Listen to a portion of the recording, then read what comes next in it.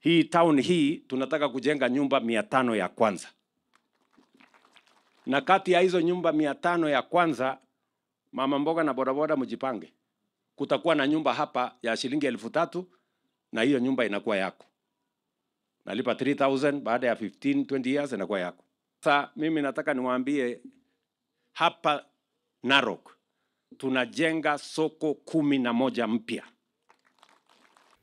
Habari ya jioni mtazamaji wangu, natumai umekuwa na Jumapili njema. Karibu tena ili niendelee kukufahamisha yanayoendelea kujiri hapa nchini Kenya kwenye ulingo wa kisiasa. Na mtazamaji, William Samuel Ruto siku ya leo alikuwa kule sehemu za Narok County ambako alikuwa ameenda kwenye ziara zake kama kawaida, mtazamaji wangu, za kisiasa na pia kufanya maendeleo. Lakini mtazamaji, kama vile ambavyo unajua, William Samuel Ruto yeye na ahadi ni hapa na hapa lakini ahadi zake kuzitimiza, mtazamaji wangu, ndio hapo inakuwa ni ngumu. Na kama kawaida, mama mboga, bodaboda, affordable housing ndio wimbo kwa kila siku, kila mahali anaenda. Na siku ya leo ameendelea kupromise Wakenya kutoka kule Narok County vile mradi wa affordable housing utaendelea kuajiri vijana, maelfu ya vijana, vile ambavyo masoko yatajengwa, vile ambavyo bodaboda wataangaliwa lakini kabla siendelee, mtazamaji wangu, nataka tunikupe dakika kidogo uweze kujionea vile ambavyo William Samoei Ruto alipokelewa kule na ile hotuba yake ambayo ilitoa akiendelea kupeana ahadi kwa wale wa Kenya ambao uko kule Narok County. Lakini kabla sijafanya hivyo, mtazamaji wangu, nakuomba uweze kujiunga nami kwa kusubscribe hapa BM Daily Politics ili wa kwanza kuzipata habari punde tu zinapotendeka. So mi nawauliza sasa viongozi, sisi kama viongozi wa Kenya tuungane ili tuweze kufanyia kazi hawa wananchi, tupange ajira ya vijana wetu hawa. Wewe Julius, unajua katika budget ya CDF tumebadilisha sheria, mimi nimesha sign hiyo sheria ambayo sasa itakuwezesha kujenga ICT hub katika every ward hapa Kilgoris, ndio hawa majenzi hawa vijana waweze kufanya kazi ya ajira ya kupitia digital jobs. Mumeniambia ya kwamba iko shamba hapa ya affordable housing kabisa. Mimi niko tayari, hata tulikuwa tumeadvertise, lakini contractor tulipata ni mzembe kidogo, tukamwambia hapana, ilikuwa ni mtu ya Kiswahili mingi na Kiingereza na hakuna kazi, so tumerudia tena ku advertise. Hii town hii tunataka kujenga nyumba mia tano ya kwanza, na kati ya hizo nyumba mia tano ya kwanza mama mboga na bodaboda mjipange, kutakuwa na nyumba hapa ya shilingi elfu tatu na hiyo nyumba inakuwa yako, nalipa 3000 baada ya 15 20 years inakuwa yako. Tuko na nyumba tena ya shilingi elfu tano. Tuko na nyumba ingine ya elfu saba. Tuko na ingine ya elfu kumi. Tuko na ingine ya 15000 kufuatana na hiyo. Sasa muanze kujipanga hapa. Sasa saa hizi tumeunda serikali ya kila mtu, hakuna mtu sasa ya kulalamika hakuna mtu ya kupingana. Sasa sisi wote tusimame pamoja, tupangane pamoja, tuungane, tushirikiane. Ile sasa kazi iko ni vile tutashirikiana, tutatue changamoto za taifa letu la Kenya tukiwa pamoja. Ile kazi iko sasa ni kupanga maendeleo ya taifa letu la Kenya tukiwa pamoja. Hakuna sasa vizingizio tena, hakuna vijisababu tena, hakuna excuses ya kusema ho, kwa sababu ya hii, kwa sababu ya hii. Sasa hii serikali imeunganisha watu wote hapo ndani. Hapa Narok watu, wali, watu walikuwa wananiuliza hapo nyuma, wewe ule mama mboga yako ulikuwa unasema kazi gani unamfanyia, si ndio? Sasa mimi nataka niwaambie hapa Narok tunajenga soko kumi na moja mpya na tayari karibu tisa imeanza kujengwa. Yenu ya hapa ni kwa sababu ni soko kubwa.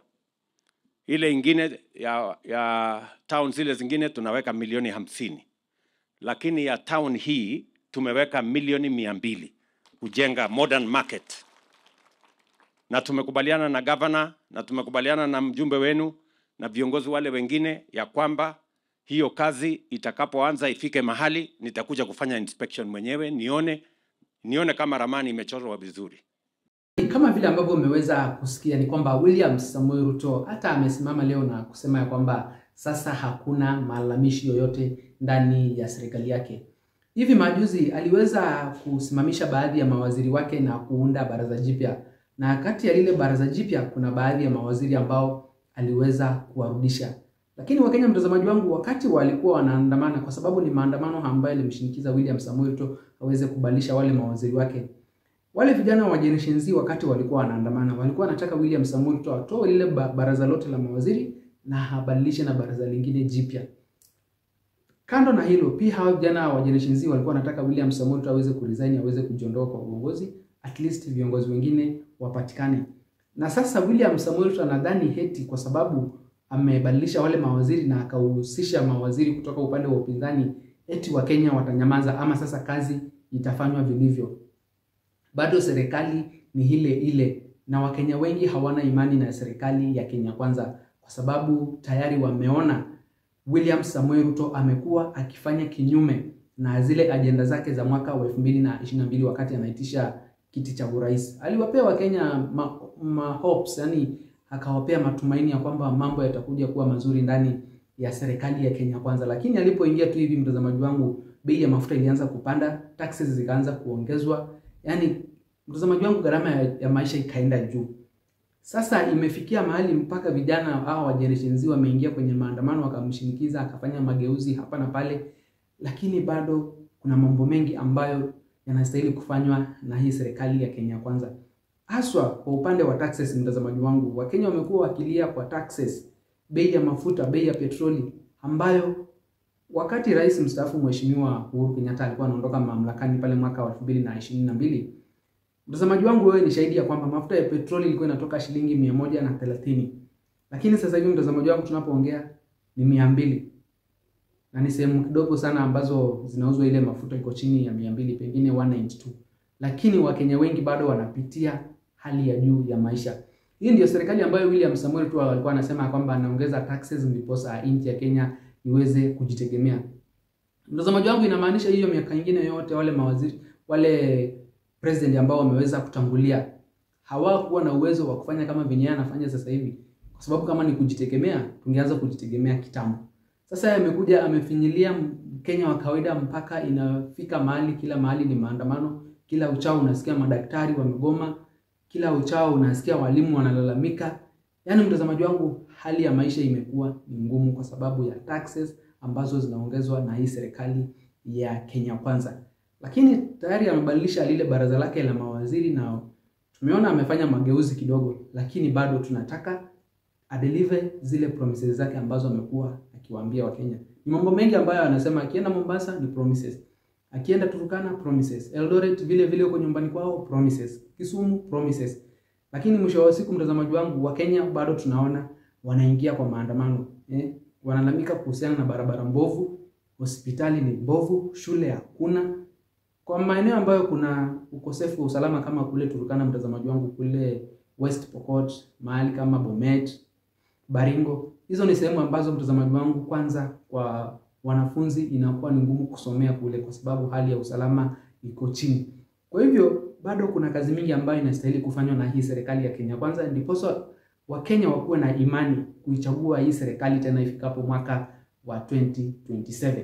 Hebu acha maoni yako hapo kwenye comment section kuhusiana na vile ambavyo umemsikia William Samoei Ruto amezungumza siku ya leo na kuhusiana na vile ambavyo amejipanga kutekeleza zile promises zake. Je, ni kweli atazitekeleza ama ni, ni venye tu anazisema alafu akitoka pale hiyo inaishia pale, mtazamaji wangu.